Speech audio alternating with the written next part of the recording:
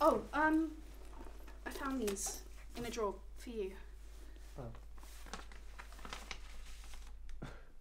Thank you. These are marvelous. I, I thought you liked them, especially, you know, the ones of you and Dad.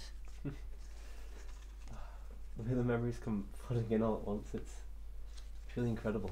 There certainly are a lot of memories, a lot of things to think about. He lived a long old life. I used to love just sitting there and listening to his stories. It all felt so real the way he'd tell it. Like I was truly there, just experiencing them with him. I love when Anna has our little kid. I want him to love me as much as I loved our dad. Yes, well, we never could pry the two of you apart. I mean, I know he was my our our dad, but um, he was so much more than that. He was the things that he did, the places he'd went. You were his treasure. I know.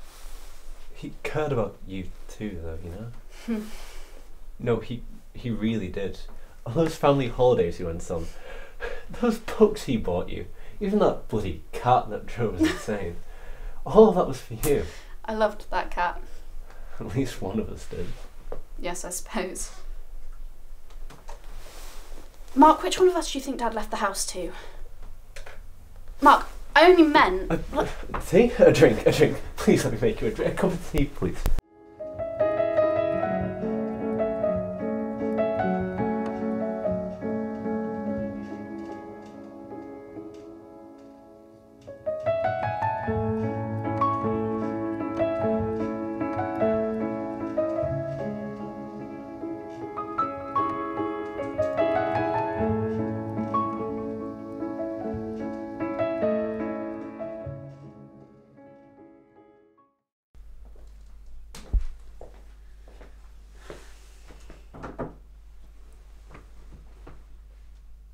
Mark, the only reason that I ask is because I need to know where I'll be living and, and I want.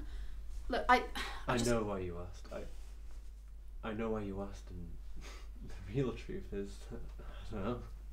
How can you not know? You knew everything about each other. You were there for him when Mum died. That was ten years ago. So? He still told you everything. He told you about my divorce before I had the chance to, for God's sake. He was worried about you. Of course, he would tell me. If he was so worried about me, then why couldn't he give me some of his fortune when I was on my own and couldn't afford a house? That was not fair, and you know it. He was trying to look out for you. How is leaving me to fend for myself looking out for me? Maybe he wanted you to be more like me. God, Mark, why would I want to be anything like you?